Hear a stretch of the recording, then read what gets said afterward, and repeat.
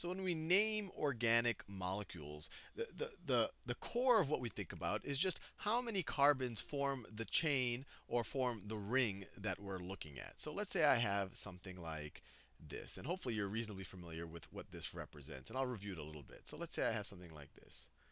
Let's say that that is the molecular structure right there. And so the first question you should be asking is, how many carbons are there there? And, you, and some of you might say, wait, how is that even a molecule? And just as a review, the endpoint of every line represents a carbon.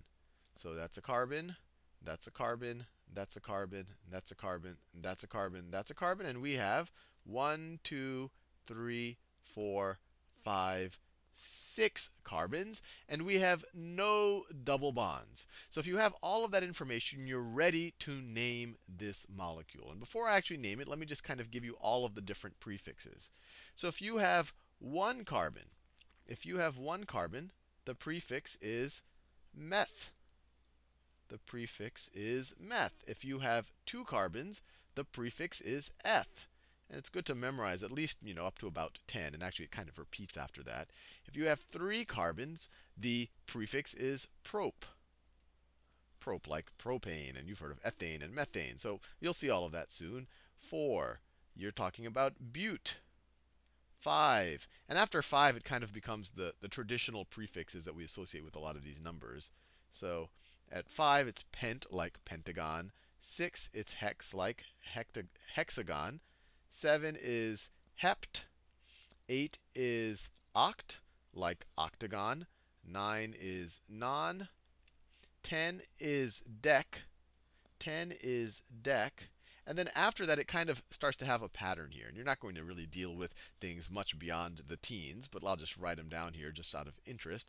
11 is undec undec. And for those of you who know French, I'm not one of them, but I know that that that one in French is un, or, or, in Spanish, uno. So it's kind of 1 and 10, 11. 12 is dodec. Dodec, do or dos if, if you're speaking Spanish. For 2, dec for 10, 2 and 10. That's 12. 13, you could imagine what it's going to be. It is tridec. Tridec. 14 is tetradec. Tetradec. A tetrapod is something with four legs. And then after that, it becomes very systematic.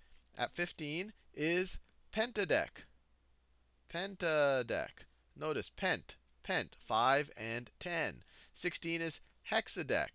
17 is heptadec. So it just goes on and on and on. I don't think I have to go away. It's hexadec, heptadec, octadec is 18, 19 is nonadec, and then 20 is actually icos. But we won't even uh, go into that. This will probably serve our purposes. I mean, I could go up to, you know, 16 is hexadec. Hexadec. So this is just how many carbons are in our longest chain. What I drew here is just one chain. So we can immediately, let's, let's try to name it. Well, how many carbons do we have here? Well, we have one, two, three, four, five, six carbons. So we'll be dealing with hex as a prefix.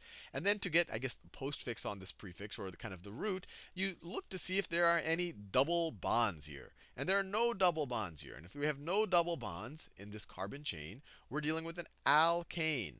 This is called an alkane which is a general term for all of the chains of carbons that have no double bonds on them, or no triple bonds, all single bonds. So in this situation, you take hex for 6.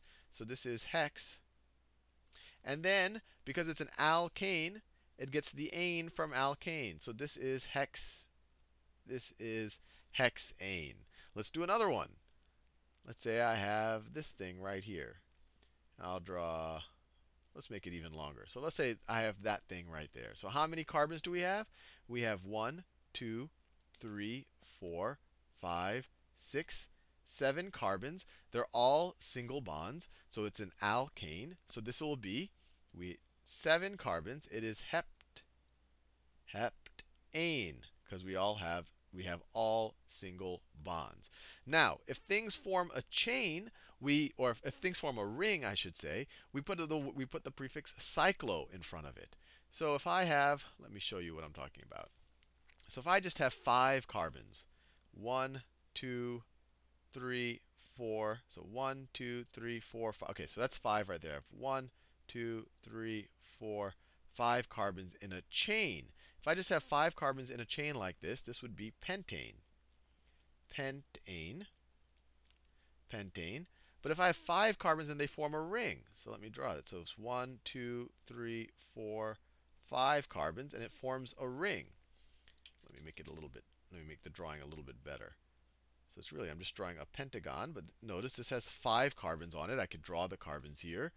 Carbon, carbon, carbon, carbon, carbon. And just as a review, what you don't see is the hydrogens they're bonded to. Each of these guys have two bonds, so they must have two bonds with something else, and those are going to be with hydrogens. And I'll draw it here just as a bit of, of a review, but you notice very quickly the drawing gets extremely messy when you draw the two hydrogens on each of these carbons. So it's a bit, little bit over, maybe I shouldn't be doing that. But there you go. So it becomes very messy when you draw the hydrogen. So it's better to just assume that they're there. If we don't draw all four bonds of the carbon, the other two bonds are going to be with hydrogen. So here you might say, okay, this is an alkane because I don't have any double bonds here. All of these are single bonds with the carbon. I have five carbons, so you might say this is pentane. But you have to think about one more thing. It's in a ring, so we add the prefix cyclo to it. So this is, because it's a ring, we write cyclo, cyclopentane cyclopentane. So let me just break that apart. This tells us that we're dealing with a ring. You see that this is a ring right there. This tells us this tells us that we're dealing with five five carbons. And then this tells us right here, the ane part, that tells us that they are all single bonds. All carbon carbon single bonds, no double or triple bonds. All single bonds. So let's go the other way. Let's let's start with the word and let's see if we can figure out what the actual structure would look like. So let's say I have let's say I have uh, let me make let's say I have cyclo cyclononane cyclononane. So what is this telling me? This tells me I'm dealing with a ring that is a ring. It's going to have a ring structure. It's going to have nine carbons, nine C's, and then it's an alkane, so they're all going to be single bonds. It's all going to be all going to be single bonds. Single single bonds. So if I want to draw it, I want to draw nine carbons in a ring. It's not a trivial thing to draw. Let me try my best. Let's see. That's one, two, one, two, three, uh, 4, 5, 6, 7, 8. Uh, that's about, well, let's see, I'm, let me draw it. Let me try a little a better shot at it. So let's see, I have 1, 1, 2, 3, 4, 5, 6, 7, 8, and then 9, and then, then you can connect the last two. So let me make sure that this is, and I obviously I could have drawn it better than that, but hopefully you can see all the edges here. So I have one, two, three, four, five, six, seven, eight, nine carbons. So that is, we have, it's, a, it's in a cycle, it's in a ring. I have nine carbons, and they're all single bonded. So this is cyclononane, although there's probably better ways to draw that ring right there. So if someone were to tell you, if I, someone were to tell you octane, octane, if someone were to tell you octane, and that word might see, feel familiar to you from the gas station, and they are literally talking about the molecule octane. And now you know, what, or at least you have a sense of what they're talking about. The oct tells you that you have eight carbons. There, are, there is no cyclo in front of it, so it's not a cycle. It's just going to be a chain. And then the ane part tells you that they're all single bonds. So it's just going to be eight carbons in a chain. One, two, three, four, five, six, seven, eight. It's just going to look like that. One, two, three, four, five, six, seven, eight. In the next few videos, we'll add more to these molecules and make the names even more complex.